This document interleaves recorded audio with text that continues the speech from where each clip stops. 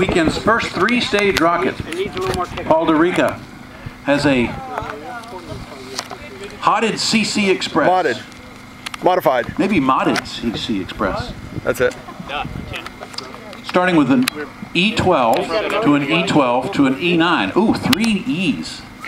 This is going to be interesting. Extreme altitude. Oh boy.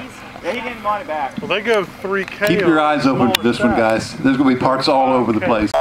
Alderica's modded CC Express in five, four, three, two, one, launch. So, so good. It's turning. Oh, and we're horizontal. That means it'll drift back. There's booster way. We got all three. That's what I'm counting on.